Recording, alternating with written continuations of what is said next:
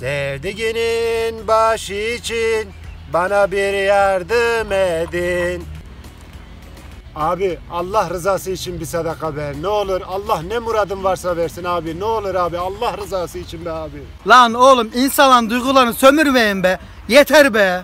Abi vallahi yemin ediyorum duygu sömürmüyorum abi sen de biliyorsun. Ekonomik kriz var, işsizlik var. Ne yapayım abi iş yok. Evde beş çocuk var. Mecbur kaldım be abi ne olur. Allah rızası için be abi. Lan git hamballık yap, çöpçülük yap, bahçeye git. Niye sen dilencilik yapıyorsun ya? Ah be abi. O dediğin işleri Suriyeliler kaptı be abicim. Bize bir şey kalmadı ki. Ancak dileniyoruz işte. Bahane bulma oğlum ya. Çalışana iş var ya. Yok iş yokmuş, yok bilmem ne yokmuş. Bilmem. Sevdiğinin başı için bana bir yardım edin. Sevdiği... Abi Allah rızası için bir sadaka ne olur be abicim bir sadaka be ne olur abi. Ramazan ayı geldi ya fırsat bu fırsat. Milleti sömürün bakalım. Abi vallahi kimsenin duygularını sömürmüyorum. Tam iki tane üniversite bitirdim ama işsizim abi. Beş tane çocuk var mecbur kaldım be abi. Madem işsizsin niye oğlum 5 tane çocuk yapıyor? Biz ne bilelim abi. Bize hep üç çocuk yap dediler. Beş çocuk yap dediler ama sonunda böyle ortada kaldık abicim.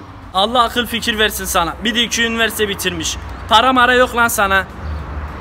Sevdiğinin başı için bana bir yardım edin. Yavaş lan. Berat. Oğlum sen misin lan? Pardon çıkaramadım abi. Benim ben Emirhan. Üniversitede aynı sınıftaydık ya. Çıkaramadın mı?